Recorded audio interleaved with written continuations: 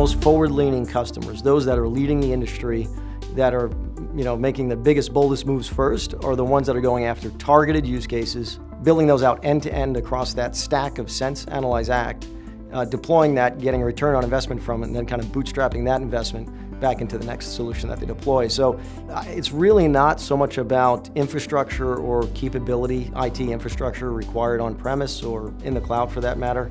It's more embracing the notion that workflows can be improved if new data can be discovered and then you know just jumping with both feet to uh, to go and make that happen on a use case by use case basis. You know, I see more and more of this RFID technology really running a plant not necessarily moving it, but moving the data. You make decisions on data now. You don't make decision on data that happened yesterday.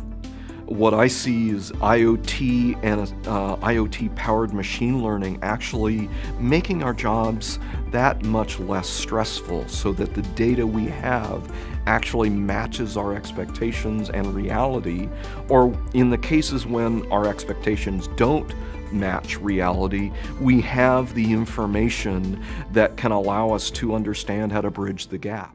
Data is an important characteristic, but there's a layer above that, which is knowledge, right? So it's not enough to become data driven, we need to become knowledge driven or science driven, uh, whatever euphemism you want to use.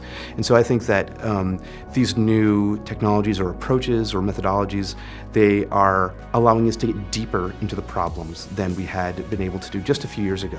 The technology's been out there for years, but getting the people to adapt, you know, to use the technology is the struggle. But once we show it, and have the proof concept, the proof that it works, it's more quickly accepted and more people want to learn more about it. So often I think in academia, and rightfully so, we're, we're very much focused on our problem and the technology and less so concerned about the actual applications or you know the value of this in a real world context and i think our lab, at least, Senseable City Lab, we are very applied in what we do, but we're still within that academic framework. And so it was really nice to be able to talk to people from industry who, I mean, just in a two minute conversation, just had a completely different vision for what underworlds could be. And that was, I think, for me, really valuable insight to have. Amazon or Fed, uh, FedEx uh, is another classic example of putting information in the hands of users. Where is this package?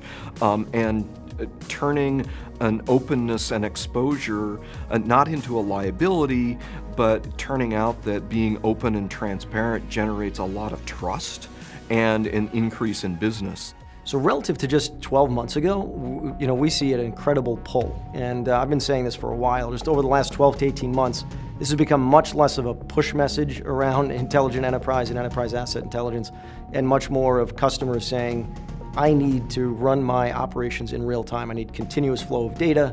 I need to understand what's happening at the edge of my operations, and I need, I need to be able to use that information in an insightful way to provide better experiences. The area that's really hit me is the human element.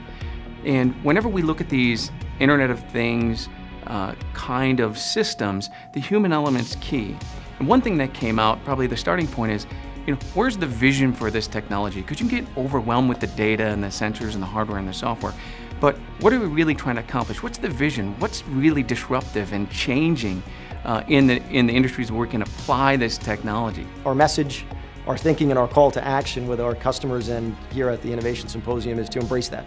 Think first about how you need to change your workflows in order to benefit from all the data that the intelligent enterprise is going to, uh, is going to provide to you.